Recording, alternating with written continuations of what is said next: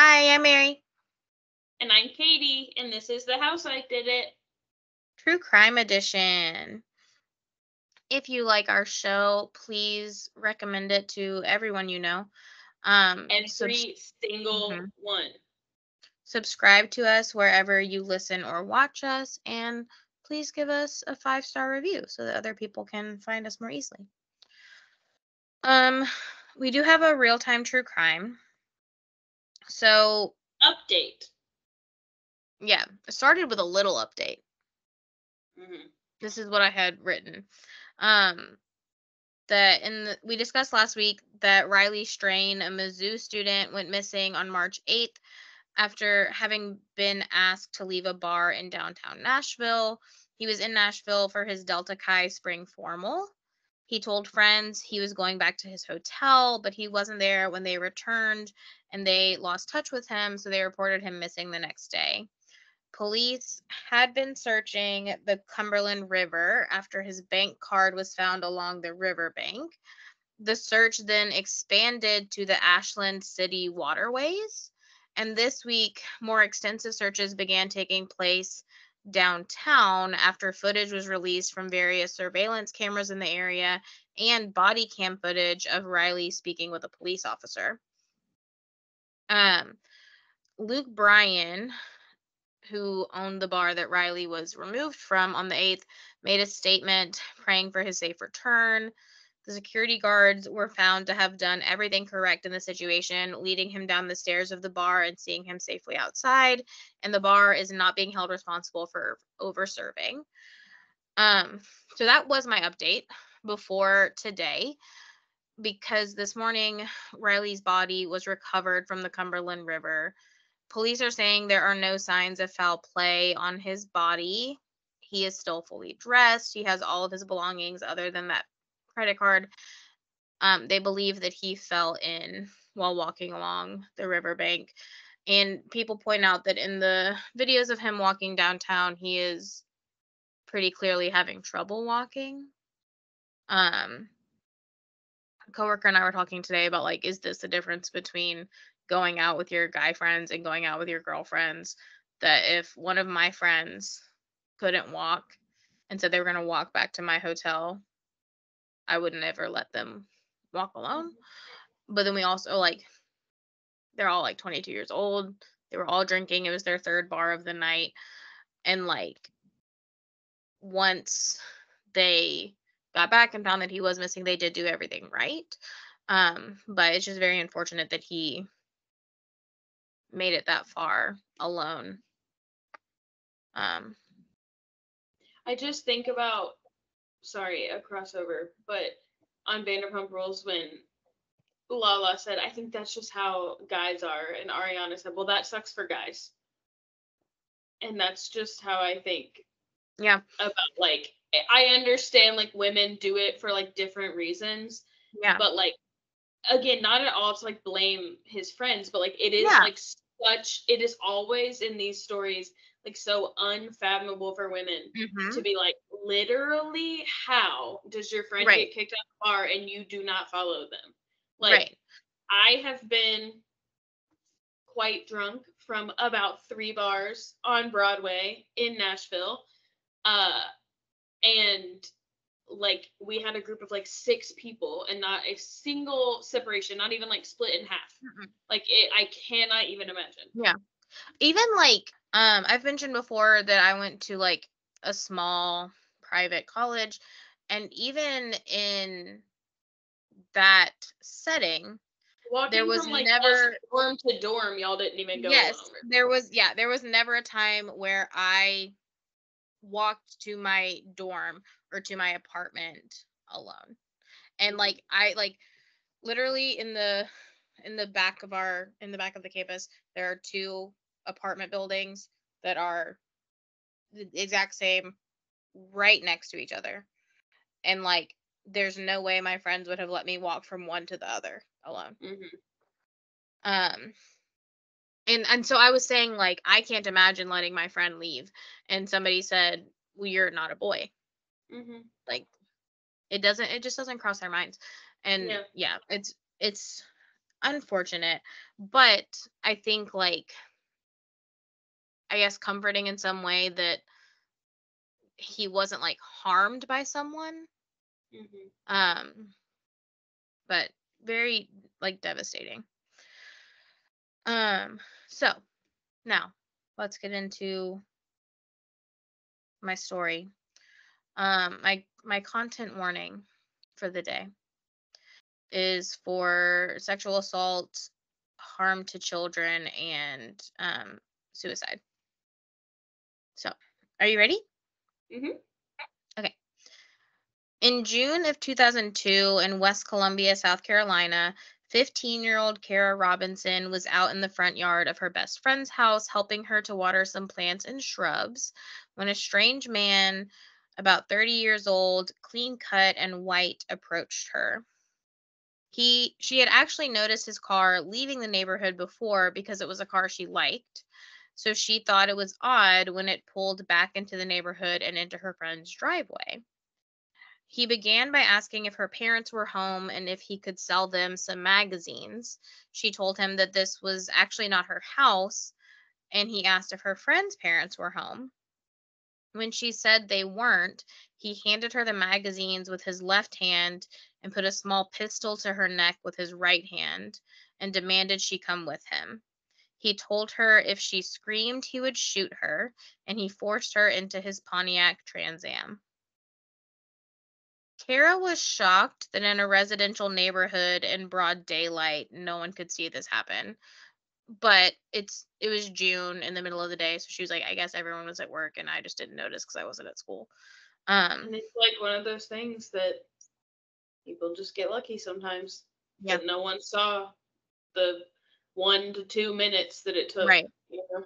And in the um in the Lifetime movie about this, which it's a Lifetime movie, but Kara is one of the producers of the Lifetime movie about it. Um her friend was like taking a shower. So like basically her friend was like I need to water the plants and Kara and she's like but I also need a shower. And Kara was like you shower and I'll water the plants. And so like she couldn't see what was happening either. Right. Um, when they got to the car, she noticed that a plastic storage container took up the entire back seat.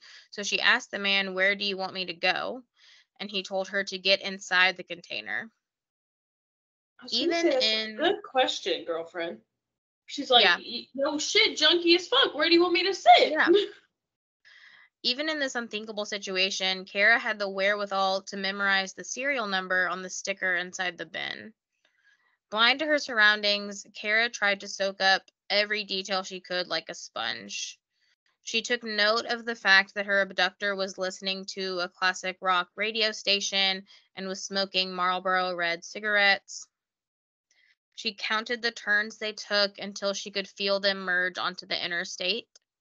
She was keeping her body down in the container, but she could still see through the hatchback of the car. So she was like laying on her back, but she could see through like the back So windshield. there wasn't like a lid on it. Not at this point in time. Um, and she could see as they pulled over into a wooded area. At this stop, the kidnapper tied Kara's hands and feet, gagged her, and this time put the lid on the container. Even through this, Kara remained calm because she knew he wanted her fear and she refused to give him the satisfaction. She was driven, she said that. She said, I knew he wanted my fear and I would not give it to him. I said, Yes, bitch. Yeah. Um, she was driven 20 more minutes to her abductor's apartment, where she was pulled out of the car and dragged across concrete and over a threshold. She felt helpless as she heard the sounds of cars and people around her, knowing that no one knew she was there. Once inside the apartment, she was released from the storage container and told not to do anything foolish. She was led into his bedroom and ordered to undress and shower. While in the residence, Kara's survival instincts kicked in. She continued to take mental note of the details of her captor's life. He had a guinea pig, lizard, birds, fish, hamsters, and several other small animals. Kara called it an entertainment center full of cages. Freaky. Why you have so many? Yeah. She memorized the name of the doctor and dentist he had cards for on his refrigerator. She found a plethora of women's toiletries in the bathroom, as well as long red hairs, which caused her to believe this man did not live alone. Mm-hmm. This theory was later confirmed when Kara's captor told her he needed to make a phone call to his wife. He put Kara back into the container, this time on his bed, gagged and tied her again, and put the lid back on, telling her to keep quiet so that his wife wouldn't find out about her. After about 30 minutes, Kara could not stop crying hysterically. The man came back into the room and asked her why she was making so much noise.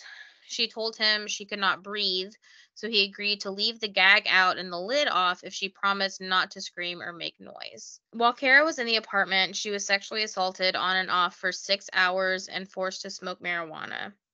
Kara explained that he asked her before each thing he did, but it was always coupled with the reminder that he had a gun. She obviously felt like there was no option to say no due to the threat of punishment, pain, or murder. She also said that at 15 years old, the things he asked her to do were shocking to her, things she had never done or even heard of.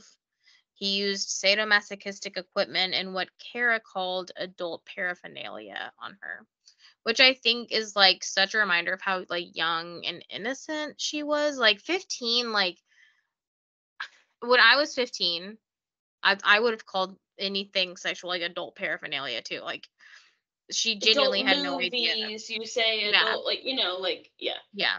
She genuinely had no idea what some of these things things were, just that like they were for grown ups. Yeah. Um, he asked her several questions about herself and used a pen and notepad to write down every answer. How old are you? Where do you live? Do you have a boyfriend? Are you a virgin? Whose house were you at? He gave her rules for while she was at his home and a list of things she could and could not say to him. Kara felt that her best option for staying alive was letting him be in control, and he seemed to really buy into this. He began to tell Kara he liked that she was so calm. He seemed comfortable with her in the fact that she was non threatening, even specifically telling her that she didn't seem upset at having to be there. He's like starting to like believe that she wants to be there. She said, "Yeah, I'm having a great time." Yeah. He said, "You don't seem upset Obviously. at all." And she's like, uh, "Me upset? Thank for you what? for bringing me here." Yeah, I love it. I love your. I was your miserable animal. watering the shrubs. Yeah, they weren't Can even I my play shrubs. With all of your pets, then I'm happy to stay. Like and do we take the hamsters out? Does the lizard like to go outside? I love to go outside. Yard. um. Eventually, the kidnapper told Kara it was time to eat. Kara told him she wasn't hungry and asked if there was anything she could do for him. Dang, I was about to keep the joke going and go, I love to eat. And then she said, I'm not hungry. In the in the movie, um, she says, "Oh, I I totally understand that it's time to eat, but I don't want to." like that's how she says it is like like she's like trying to like not be argumentative like she's like oh my gosh like of course it's time to eat. I just will not be doing that. Um but i actually though like weird quirky thing about me i love watching people eat though yeah. So I'd be thrilled to uh, sit with you while you eat. Yeah. So, but yeah, so she was like, I'm not hungry, but is there anything I can do for you? And as a result, she ended up sweeping his kitchen for him. Nice. He was like, That's fine. You don't have to eat. Sweep my kitchen. I love to sweep kitchens. Yes, it's my favorite. Um, while watching the evening news, Kara and her captor saw a news report on her disappearance. Then he gave her a Valium to make her sleep and bound her to his bed. They said, like, with her legs spread, but then I think only one of her ankles was bound to the bed, so I'm not totally sure. Um, but at dawn, after 18 hours, Kara suddenly woke up and was hit with the reality that it was now or never for her escape. As her captor slept, still dosed with marijuana and Valium, Kara managed to undo her restraints. She had been handcuffed to the bed frame using a circular clamp tightened by a screw and connected to a rope. She managed to use her teeth to free one of her hands and then unclipped her leg from a leather restraint that was attached to the end of the bed. She made her way to the living room where she found her clothes and shoes and got dressed. She tiptoed to the front door and unbolted the two locks, finally fleeing the apartment. In all, she said it took about one minute to do all of that. But like, can you imagine like how long that minute feels? Mm-hmm. She flagged down a passing car, told them she had been kidnapped and raped, and had the two men Was inside drive her. Naked, like when tied to the bed. Do we know? And so in the um movie, and again, it's a lifetime movie, so like I don't know if this is just for the sake of like this is a 15 year old girl, but in Oh, the sure. movie, she was wearing his shirt. okay. He had I just made her put his clothes on instead. it was just I was thinking of like the toy box killer, and I was like, you know, like is that the big red flag that this naked 15 year old girl is running down the street? Um, but yeah, I guess. She she did she got her- clothes back on though. Oh, okay. So she got out of bed and she found her clothes and shoes in the living room and she got dressed as she was leaving. Okay. Um, she had the two men inside the car drive her to the police station. She provided the police with as much information as she could, and they were able to track back to his apartment complex. They called Kara's mom to let her know that she had been found, and she rushed to the police station in hysterics before police drove Kara back to the complex. I just cannot imagine committing like the fetal abduction ones you did. Like I cannot imagine committing these crimes in an apartment. Mm-hmm. Unfortunately, Kara could not remember the exact apartment number, but as they were searching the complex for anything familiar, Kara flagged down a maintenance worker. She gave the man a description of her kidnapper and the inside of his apartment, and he was able to identify the apartment number and confirm the man's identity. His name was Richard Evonitz. The police were completely impressed with Kara. They said when she arrived, they thought, look at this precious young girl and what has happened to her. There's a fucking another one. Another precious young girl. Um, but they soon realized just how intelligent, strong, and determined she was and how that had helped her escape. Once investigators arrived at the apartment, Evonitz had already fled. Inside the apartment, they found a locked Damn! footlocker- I know. That marijuana and Valium was like working, and then all of a sudden it just Yeah. wasn't. They found a locked footlocker filled with newspaper clippings and meticulous notes on the habits and movements of young girls. Kara was not one of the girls he had been researching, but police actually believe he was targeting the friend whose home she had been staying at for those few days based on his notes. While Kara was in captivity, her abductor had told her several times that he would let her go in the end. But once she learned about the other girls, she knew that wasn't true and that she's the only reason she made it out alive. As it would turn out, Evonitz was not only Kara's kidnapper, but also a serial killer. The newspaper clippings covered the unsolved murders of three girls Sophia Silva, Katie Lisk, and Christy Lisk. All three girls had gone missing from Spotsylvania County, Virginia, over five years before Kara was taken. Sophia Silva was 16 years old when she seemingly vanished from her front porch in Loriella Park on September 9th, 1996. She had just returned from school and was working on her homework outside in the approximately 80 degree weather. Police believe Evonitz approached Sophia with the same ruse as he did with Kara, offering her magazines to buy before forcing her into his car and driving her to his home, where she was bound, raped, and asphyxiated. There was no sign of struggle or witnesses at her house. Sophia's decomposed body was found a month later in Birchwood Creek off of State Route 3 in King George County. She had been wrapped in a white cover and her pubic hair had been shaved off. Yeah, I don't know. Stop it. Sophia Marlene Silva was born on July 1st, 1980, in Fredericksburg, Virginia.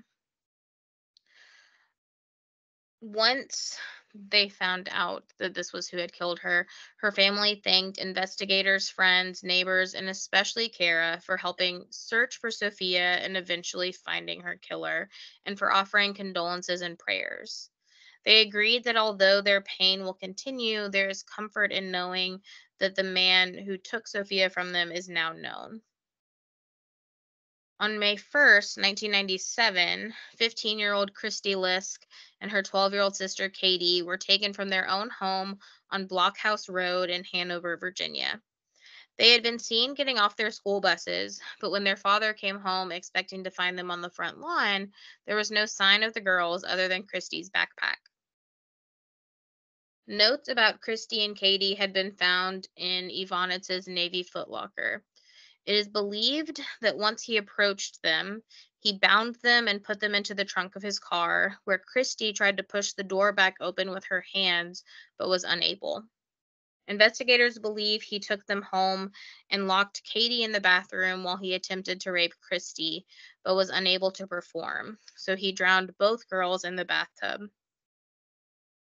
Their bodies were found five days later in the South Anna River, about 35 miles from his home, with both girls showing signs of sexual assault and strangulation. So did he assault them post mortem? I don't know. So I got these pieces of information from two different sources. Why in the hell would straight like drowning them in the bathtub be your like method? I I, I don't. That does not we are going to simple. get to something that I think might explain that. Um, but that's like very not easy, yeah, right? to drown someone. In a bathtub, two of them. Well, but I also wonder if like he strangled them in the bathtub because there were Mm. signs of signs of strangulation. Um, I think it was like a mix of those things. Just yeah, and did he think like the bathtub, like the water would like help with like evidence? I don't know. Kristen Michelle Lisk was born on January 1st, 1982 in Stroudsburg, Pennsylvania. Um, she shares a grave with her sister Catherine Nicole Lisk, who was born on October 12th, 1984 in Fredericksburg. Under October Kristen's 12th. name. What is that? Oh, what is that? It's the Parent Trap girl's birthday. Oh. Um, under or Kristen's October name- 11th. I don't know. I was born on October 11th. Yeah, it is. They were turning 12. Um. Okay. Sorry. Under Katie's name on their tombstones, I just find this like I don't know. It just hit me hard for some reason. Um, is a Bible verse that reads, "If possible, so far as it all depends on you, be at peace with all men." Mhm. That feels. That But- feels. Except one. Yeah. You don't have to be at peace with him, sis. Um, in the same interview as Sophia Silva's family, Christy and Katie's father, Ron Lisk, said, quote, Patty and I were robbed of our children, and all of you in our community were robbed of your trust in our fellow man. Please hang on tight to your children. Tell them you love them every day. Treasure each moment with them. Give them a hug every day. End quote. Yeah. The investigation into these three unsolved murders went cold until Kara made her way to police. They learned that her captor was named Richard Evonitz, and they ultimately took forensic evidence from his home and the trunk of his car, which would later be matched to the scene where Sophia was discovered, as well as the Lisk sisters. They matched fibers from the furry handcuffs that he used on Kara and his handprints They also found girls' underwear, nude photos, and pornographic pictures and videos on his computer, as well as a video of Evonitz himself molesting a young girl and another of him masturbating to Polaroid photos of children. I, again, I say it every time. Stop taking evidence of yourself committing crimes. I swear. I don't understand. Police tracked him down to Sarasota, Florida, and on June 27, 2002, a high speed chase ensued. Evonitz had called his sister Jennifer and told her that he had committed more crimes than he can remember. And Oh. she ah. called to turn him in to Florida authorities. Thank you, ma'am. He was captured when he ran over spike strips on the highway and was attacked by a police dog. Then at 10:52 p.m., he shot himself in the head and died instantly. When Kara was notified of Evonitz's death, she initially felt cheated. She said she wanted the chance to walk into a courtroom with her head held high. She wanted him to have to look her in the eye and realize she was, quote, the biggest mistake he ever made. Eventually, hmm. though, she came to realize that she ultimately did not want to be re traumatized in court. When Sofia Silva's family learned of Evonitz's role in her murder and his subsequent death, her sister Pam said, quote, Our family feels he is facing a much harsher punishment than he ever would have on earth. End Hmm. They said, we do not believe in this justice system. they said, fuck that. Yeah. Um, Richard Mark Edward Evonitz was born on July 29, 1963, in Columbia, South Carolina, at Providence Hospital to his parents, Joseph and Tess Evonitz. that extra name, always a sign of a serial killer. Mhm. Mamas don't let your babies have four names. hmm He or was go only, by all three of their names. he only he actually only went by one of his middle names. Hmm. Um he was the only boy of their three children with two younger sisters. Kristen was born in July of 1968 and Jennifer in March of 1971. Mark's parents separated when he was a baby, but then got back together before separating again when he was 12 years old. They officially divorced in 1985. It was reported that Joseph Evonitz was an alcoholic who frequently passed out after drinking and belittled his family, calling them names like morons and peons. I don't even know what that means. It's basically the same thing. Doesn't Cool. matter. Mark's two future wives, Bonnie Lou Gower and Hope Marie Crowley, would later claim that he had nightmares about his father, specifically about a time when he drowned their family dog in front of them and then tried to drown Mark himself when he was only six. Mm. Mark's sister Jennifer claimed, quote, "We lived in a prison. Joe was a very controlling person. He wanted us to make straight A's. If we didn't, we were stupid. It was all about power and control. You'll get an A or you'll get a beating. I see him as a sadistic man. I know I saw the pleasure in his face out of making us miserable." End quote. Despite this dysfunctional family dynamic and living with a verbally and physically abusive father, Mark graduated from Irmo County High School in 1980 at the age of 16 and Hmm. quickly became a store manager of a Jiffy Lube. As a teenager, though, Mark began breaking and entering into his neighbors' houses, stealing valuables that he would use to pay for weed and alcohol. At this, his father gave him an ultimatum Mark could either go to jail or go into the service. Does his father realize he does not have the authority to put his son in Right. jail? Wait, like, I was like, is it up to you? Um, I am the law. but I guess when you're 16 and You said, oh not shit. anymore, he's like, I ca- oh no.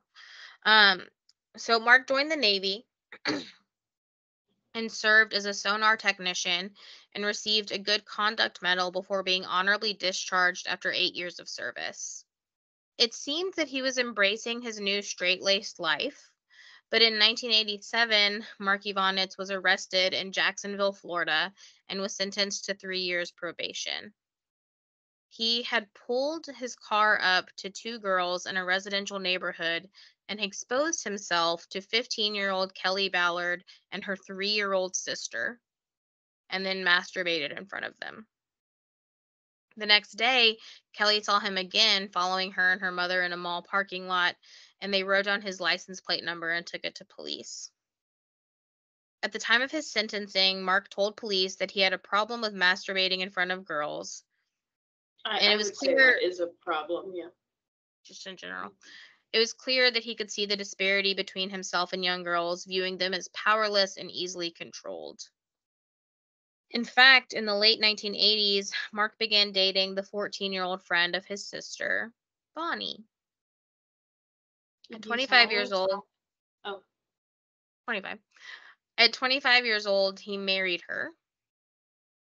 But by the time of their honeymoon, his new wife realized she had gotten herself into more than she had bargained for. she realized are other- he was 25. She's 14. There were some reports that she was 16. Either way. It Not does not matter to me. Um during their courtship, Mark seemed sweet, but on their honeymoon, he introduced her to his interest in rough sex and bondage. In their sexual life, Mark would leave Bonnie tied up for hours on end, taking breaks before coming back to rape her again. At the time, young Bonnie didn't realize she could say no to her husband, which is likely what Mark had hoped for by marrying a child. Their neighbors viewed them as an average young couple. They attended. How young does he look? I swear. They attended neighborhood cookouts and made friends easily. However, once Bonnie was in her early 20s, Mark was no longer interested and wanted a young girl again. After 11 years of marriage, Bonnie had actually met someone online and began a virtual long distance relationship. He taught her that her husband's sexual desires were not normal and that she deserved better, and she left Mark and moved to California to be with this new man. Good for Bonnie. hmm Yes, queen. I hope he does not turn out to be sketchy, but yeah. Mm-hmm. After his divorce in 1996, Mark had to file for bankruptcy, and three years later, his house was foreclosed. Free from the shackles of marriage, Mark was on the prowl for someone new. Around the time Bonnie left him, he broke into a Spotsylvania home where two girls were home alone. He locked the younger of the two girls in the bathroom and raped the older one before leaving the home with the two girls still alive. So he left them there. So these are the early days of his. Is it their own? Like it was their home? I'm missing. Yes. Okay. He broke into their house and then he raped one of them and then he left. Mark met his next wife at a pancake house where 17 year old Hope was a waitress. They started dating, and once it got serious, they got married. Like Look, Bonnie, I'm not like trying to say he should like marry 12 year olds, but I guess I'm like not following the logic that like you get in in marriages knowing that like they will continue to age. right? And so especially marrying one that is like 17, like on the cusp of adulthood, Right. uh it seems like it might defeat the purpose. Yeah. Um, like Bonnie, Hope went into the marriage naive to what her husband's true intentions were. By this time, Mark had begun to take Viagra, so he was able to keep Hope tied up for even longer as he raped her. Hope was out of town when Mark abducted Kara, and this is the red haired woman he called while Kara was laying inside the storage container. Oh no. At Was one she point- still, like young at that point? So they they got married, I think, in 1997. Mm. and they were married until he died in 2002. So she was still young, but not as young. 20s. Okay. Yeah. Um, at one point in the 1990s, uh, this is like super random, but I was like, I have to say this because it's interesting to me. He had a letter published in the Freelance Star, the principal daily newspaper of Fredericksburg, Fredericksburg, Virginia, titled Bigotry Against Gays Betrays Nation's Ideals. Hmm. Yeah, okay. Okay. Pop off for for right now. Oh, one second. Um, After this, he became a salesman and sold compressors and grinding equipment. From 1999 to 2002, he worked at an air compressor company where it is reported his female coworkers avoided him because he had a misogynistic attitude and anger management issues. I'd say so. hmm I can I can see that.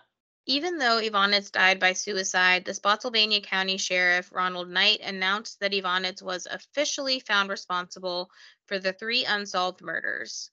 Kara was given $150,000 in reward money for helping solve the murders, which she used to pay her bills and tuition throughout college. Nice. After meeting their families, the girls' families, Kara said, quote, It is one of the most important things that's ever happened to me because it brought home the importance of what I did. Because I felt like, wow, I'm actually giving these families something that they never would have gotten without me. Just the closure of knowing that the person responsible for their daughter's deaths is no longer here. End quote. Mhm. Richard Evonitz is now a suspect in a 1994 abduction and a 1995 rape, also in Spotsylvania, Virginia, as well as the murders of Sarah Cherry, Alicia Showalter Reynolds, and Anne Carolyn McDaniel. Wow. On July 6th, 1988, 12 year old Sarah Margaret Cherry was taken during her first babysitting gig in Bowdoin, Maine. Her body was found several days later, hidden in a wooded area. She had been bound with rope, tortured, sexually assaulted with birch sticks, stabbed, and then strangled with a scarf. About a year later, Dennis Dechaine was convicted for Sarah's murder after an estimate with his name on it was found in Sarah's driveway. And the rope and scarf found with her body were found to have come from his truck. Oof. The it sounds like like he did it. Yeah. Um, however, many believe Dechaine is innocent, as there was actually no forensic evidence leaking linking Sarah to Dechaine's pickup truck itself. She was never in the truck, despite it having been found about 450 feet away from her body. The truck. He, yeah. He claims that somebody must have taken those things from his truck because it was so close. I'm just I'm look, I'm just I'm just putting the facts in here, but I don't think he's innocent.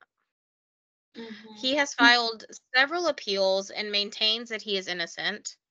Evonitz has been linked to Sarah's murder due to the fact that he was working as a sonar technician aboard the USS Kolsch in Portland, Maine from May of 1988 to May of 1989.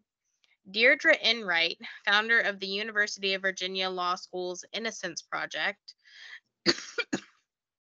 noted a link between Sarah's murder and Evonitz's MO, as well as the fact that his vehicle at the time matched the description of a white Toyota Corolla spotted near where Sarah's body was found. Oh yeah, that's more evidence than the other guy. Yeah. Evonitz was known to frequent the Brunswick Naval Air Station commissary only 13 miles south of Bowdoin. What about 450 feet? Right. Police have been unable to link DNA from Sarah's case to Evonitz due to being deemed insufficient, and Dennis Dechaine remains incarcerated for Sarah Cherry's murder because he did it. Um, the other two are, I mean, he was convicted of it, so I can say he did it. Yeah. Um, and there's no repercussions. Um, the other two though. On March 2nd, 1996, at 7:30 a.m., 25-year-old Alicia Showalter Reynolds left her home in Baltimore, Maryland, and made her way to Charlottesville, Virginia. 25. Around, I know. This is the only thing that I'm like, hmm. Um, at around 6 p.m. that evening, Alicia's car was found abandoned off of the highway near Culpeper, Virginia. Witnesses later came forward to tell police they had seen Alicia along the side of Route 29 speaking to a man in a blue pickup truck. On May 7th, Alicia's body was found in a wooded area 15 miles to the southwest of where she had last been seen. Police were unable to determine her exact cause of death, but did rule it a homicide. On September 22, 1996, a small group of local men exercising with their dogs came across the remains of a woman just 10 miles from where Alicia's body had been found. This woman was later determined to be 20 year old Anne Carolyn McDaniel, who had cerebral palsy. Anne had last been seen leaving the group home she was living in for adults with mental and physical disabilities in the town of Orange. On September 18th, Witnesses claimed to have seen Anne attempting to hitchhike along Route 29. Alicia's and Anne's murders were credited to the Route 29 stalker, which authorities now believe could be Evonitz after finding what appeared to be scribbled directions to the site of Alicia's body in one of the footlockers in his apartment. So, do you think that he did these two? Um, I think it's possible. I don't know. Um, I think so too. And I do I, I, I will say like with Sarah Cherry, like the being left in the woods and like yeah, a lot of it does feel similar. I just don't think that it's more than what they have against Dennis Dechaine. Yeah, and did you say her name was Anne? This mm-hmm. third one? like um the what? The third that you just listed. Oh yeah. Um, my thought. So like, obviously, my first thought was like, twenty five and twenty is like not mm-hmm. doesn't seem right to me. Mm-hmm. Um, however, like you add a disability in there, right? And I think like the vulnerability level, right, the ability gets, to overpower, right, gets similar. Um, possibly even like a mental childlikeness mm-hmm. um, would be similar. But yeah, Alicia being like 25 and like seemingly developmentally 25. Yeah. And uh, I will say like strange, but yeah, Alicia like she doesn't even like she looks 25. Like yeah. I like I don't think there was any like mistaking that she was an adult or anything. Yeah. I so I don't know. That's the only thing that like leaves me hesitant. But then I'm mm-hmm. like, he had notes about them. Yeah. Because I was gonna say like you could certainly have notes about like her murder and like it on the news and stuff, and like that mm-hmm. just means you're like interested in murders. Yeah. But notes to the mm-hmm. place her body was like right. seems strange. And I wonder um if like if it was some kind of like crime of opportunity. Sure. Um I don't know. And then it and is this like before the the proven ones? I was just thinking about that. So these were both in 1996. Um as was Sophia Silva. But Alicia Reynolds was March. in March of 1996. Sophia Silva in on September 9th of 1996 and on September 22nd of 1996 and then Katie and Christy in 1997, and then Kara in 2002. There's more in between there for sure. Yeah, there's they're that close together, and then yeah, 1997 to 2002. Unless, yeah, I mean, because that's around the time he got married to Hope. Yeah, yeah. I don't know. I was gonna say like, if Alicia was the 1st mm-hmm. um, maybe he did it and then he was like, I don't like yeah this with adults. And so then he found I, and then I was thinking maybe he found Anne who was like kind of next best thing Mhm. in like a really gross way. But then possibly he found Silva, Mhm. right? Silva. Sophia. Silva's the last name. Sophia Silva. Yeah. So so possibly he found Sophia, said, Nope, this is what I like. hmm And then he still could have found Anne and said, like, Especially if she was will- hitchhiking. yeah, this will do. Right. Um, and then he like is like honing, yeah. you know. And after which we don't know how he found Sophia or Sophia was on her porch. Yeah. Okay, so like I don't know, yeah. Don't know. Sophia, Christy, Katie, and Kara were all like on their front Do yard. we know Sophia's home's proximity to this like Highway 29? So, um, not like proximity, but they were all in Virginia. Okay. Um, Mhm. yeah. So over time, Kara Robinson formed a strong relationship with the police, especially those who took on her case.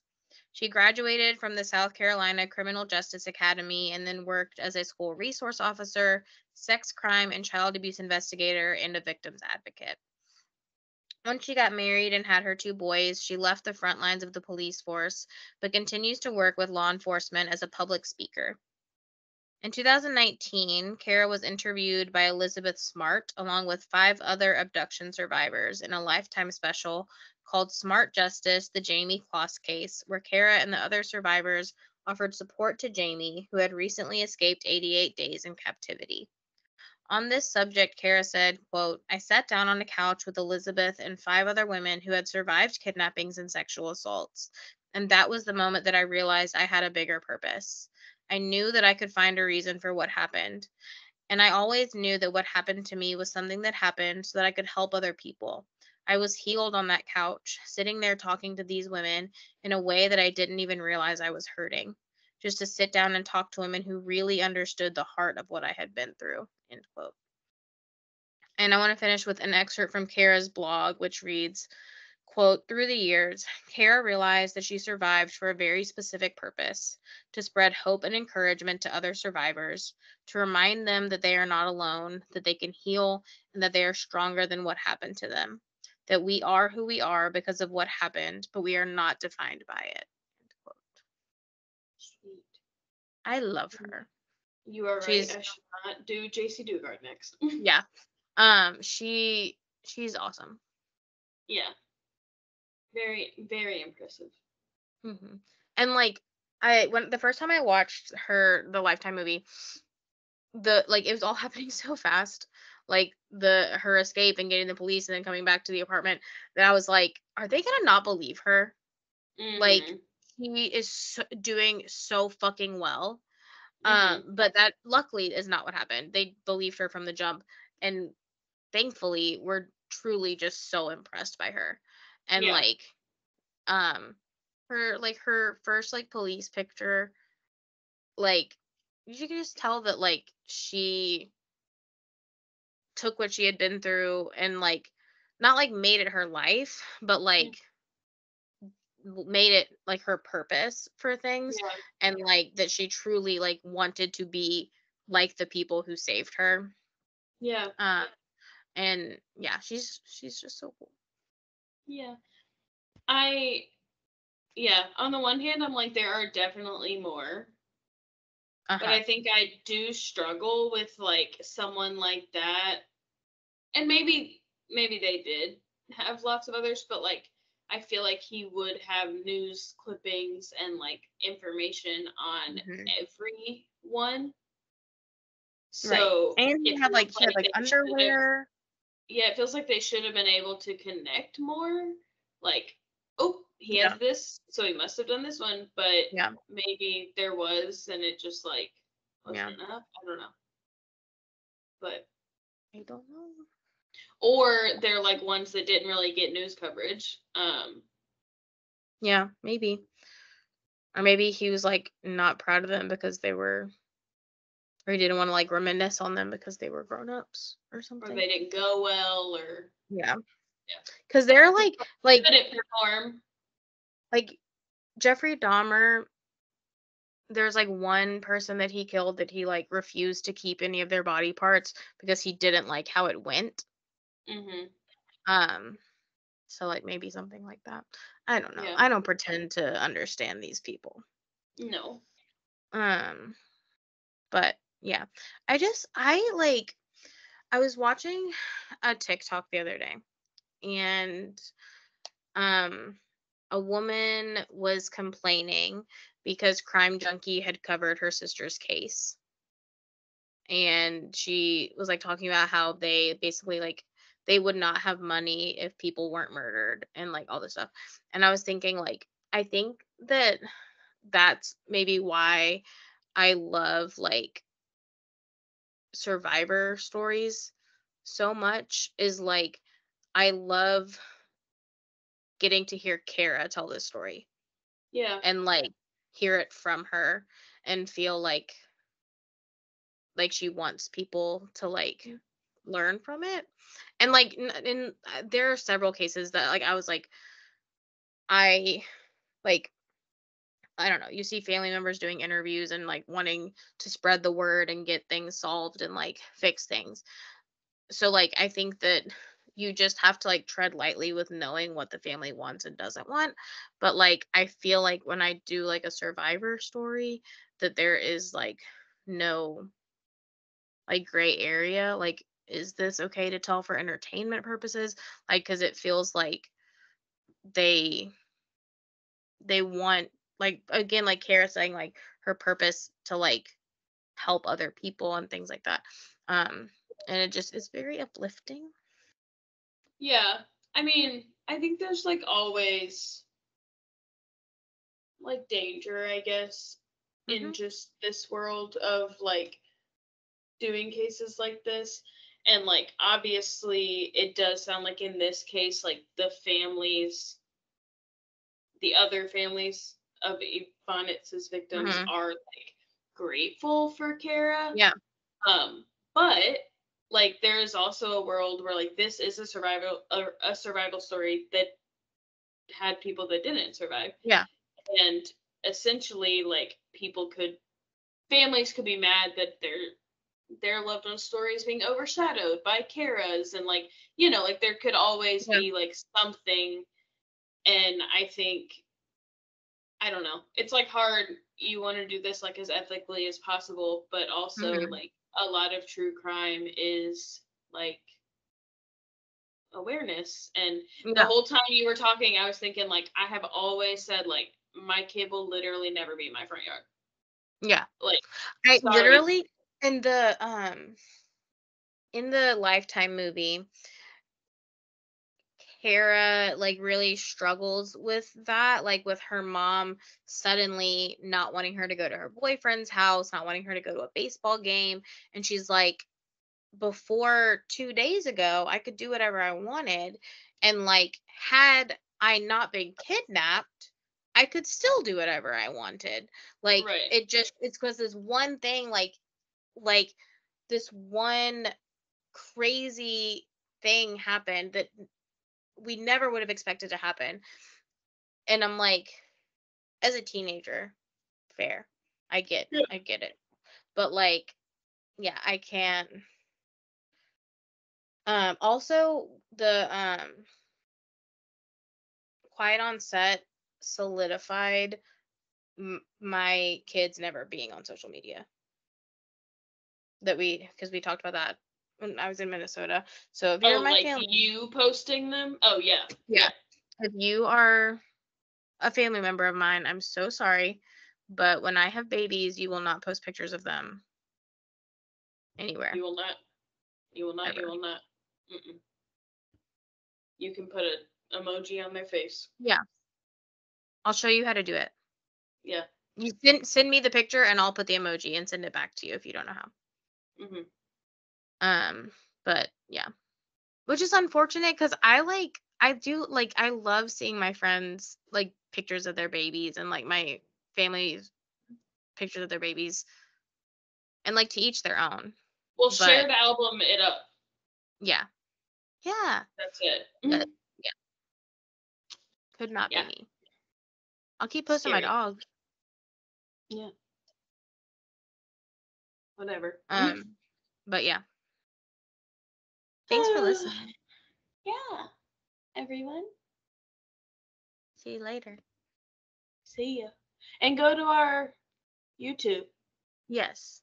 We have a bonus episode this week. A haunting. A little different